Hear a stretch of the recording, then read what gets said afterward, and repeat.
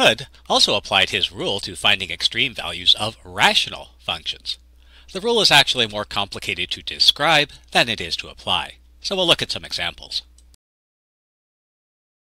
So let's say we want to find the extreme values of this rational expression.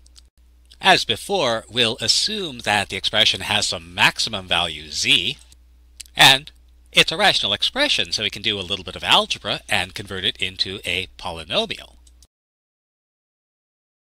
So applying Hudde's rule, we'll select an arithmetic sequence and multiply the terms of the sequence, and it's convenient if our sequence ends in 0, which will eliminate one occurrence of our unknown z. And we need the roots of this new polynomial. Now, while it's obvious that x equals 0 is a root, it can't be a double root of our original equation, and so we can remove a factor of x. And we still have two unknowns. We don't know x, and we don't know z. If only we had some expression that told us what z was equal to. Oh wait, we do. And so we note that z is equal to the rational expression itself, so we can write down our equation, replace, and solve.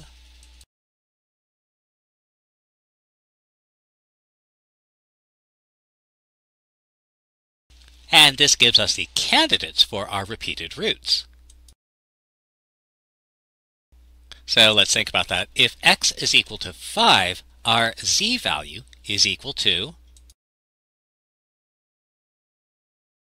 9, and we want to find the solution to And we confirm that x equals 5 is a double root, and so this is going to correspond to one of our extreme values. Likewise, if x equals negative 1, then our z value is, and solving our equation gives us,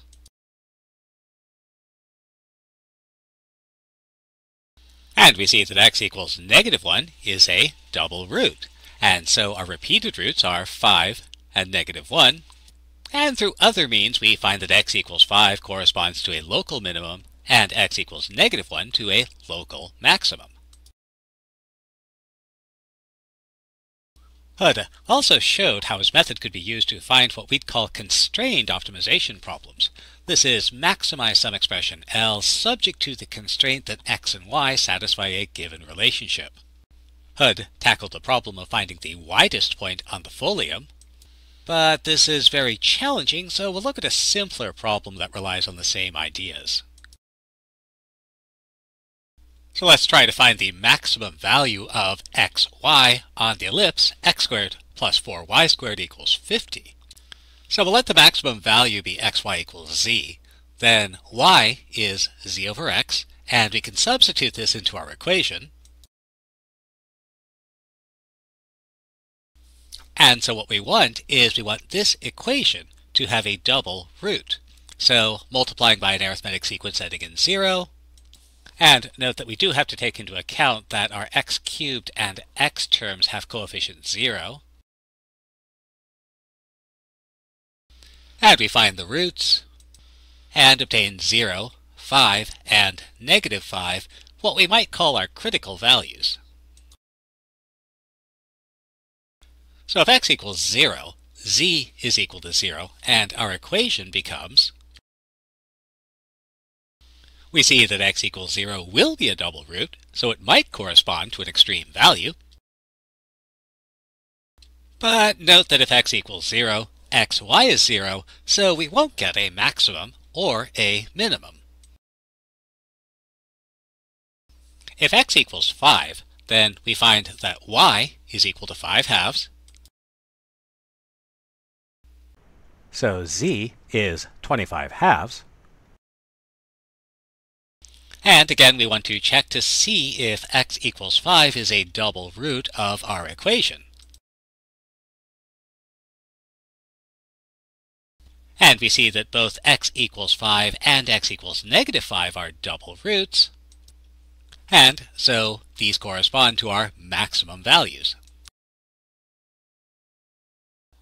Hudde's rules made the algebraic calculus of Fermat and Descartes practical because they could be applied to any algebraic relationship between x and y. This meant you could find the tangent to the folium, x cubed plus y cubed equals pxy, the extreme values of some completely arbitrary algebraic function, or the maximum value of any algebraic expression along any algebraic curve. We'll leave the details to the viewer. And Hudde's two letters established him as one of the rising stars of mathematics. Unfortunately, Hudd chose to abandon a promising career as a mathematician and went into politics.